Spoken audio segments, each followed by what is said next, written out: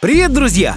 Мозг является самым сложным органом в человеческом организме. Практически все остальные части нашего тела изучены и объяснены, однако мозг до сих пор вызывает у ученых огромное количество вопросов. И хотя устройство этого органа до конца не изучено, проследить различные закономерности все-таки удалось. Эти самые закономерности мы, люди, можем использовать в своих целях, чтобы развивать интеллект и становиться умнее. Сегодня вы узнаете 5 самых эффективных способов развить мозг. Поехали!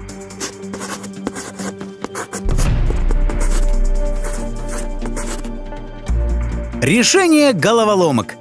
В жизни каждого человека практически каждый день возникают вынужденные паузы. Это такие ситуации, когда свободны буквально 10-15 минут, и все это время решительно нечем заняться. Современным людям справиться с такими паузами проще простого. Можно залезть в телефон, обновить соцсети, сыграть в какую-нибудь игру. Однако все это совсем не полезно для мозга. Так что первый наш сегодняшний совет – тратить лишнее свободное время на головоломки. Они бывают самыми разными разными, продаются в магазинах и даже могут быть скачаны на планшет или смартфон. Головоломки – отличный способ развить не только логическое мышление, но и пространственное. А кроме того, они неплохо убивают лишнее время, недорого стоят, а цифровые головоломки и вовсе можно скачать совершенно бесплатно. Так что в следующий раз, когда от нечего делать полезете проверять Инстаграм, подумайте лучше о своем мозге и решите для него пару логических задачек.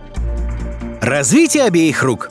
Человеческий мозг состоит из двух полушарий, причем каждая из них отвечает за какие-то определенные аспекты. Например, левое полушарие мозга отвечает за речь, и логическое мышление, числа, выводы, которые мы делаем. Правой части мозга отведено ориентирование в пространстве, фантазия, сновидение, а также способность осознавать формы, цвета и размеры. У людей, которые пишут левой рукой, сильнее развито правое полушарие мозга. Ну а правши могут похвастаться развитым левым полушарием. Довольно логично, что если мы хотим развить их оба, нужно активно работать двумя руками. Сделать это довольно просто, но потребуется приложить некоторое количество количество усилий. Например, если вы правша, попробуйте чистить зубы, расчесываться и держать вилку с ложкой левой рукой. Левшам, соответственно, подобным образом стоит поступить с правой рукой. Ну а если мелких упражнений вам недостаточно, и вы хотите ну совсем сильно развить свой мозг, учитесь писать менее развитой рукой.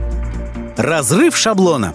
Это не слишком приятно осознавать, но наш мозг довольно ленив. Достаточно только дать ему расслабиться и ничего не делать, как он моментально привыкнет. Многие из вас наверняка знают о существовании такого понятия, как зона комфорта. Это метафорическая область, которая кажется нам привычной. В нее входят дела, люди и маршруты, с которыми мы сталкиваемся ежедневно. Когда мы находимся в зоне комфорта, наш мозг расслабляется и перестает как следует развиваться. Именно поэтому наш след Следующий совет – почаще выходите из зоны комфорта. Делайте то, к чему не привыкли. Посещайте новые места, знакомьтесь с новыми людьми, преодолевайте собственные страхи. Сказать проще, чем сделать, мы это понимаем. Однако уже через некоторое время после регулярного разрыва шаблона вы почувствуете ощутимые изменения в работе мозга, а значит усилия того стоят.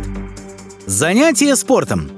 Может показаться, что совет относительно физических упражнений самый банальный из того, что только можно придумать. Но что же мы поделаем, если он в то же время и самый действенный? Дело в том, что когда человек ведет малоподвижный образ жизни, клетки мозга не насыщаются в полной степени кислородом, что мешает ему функционировать на все 100%. Кроме того, подвергаясь физическим нагрузкам, наш организм вырабатывает особый белок, который отвечает за развитие нейронов в мозге. Ну и последний аргумент в пользу физических нагрузок – это доказанный учеными факт. Люди, которые регулярно занимаются спортом, имеют лучшие когнитивные показатели, чем люди, которые не занимаются. Это значит, что они имеют лучшую долговременную память, эффективнее анализируют информацию, решают проблемы, импровизируют, а еще им намного проще сосредотачиваться.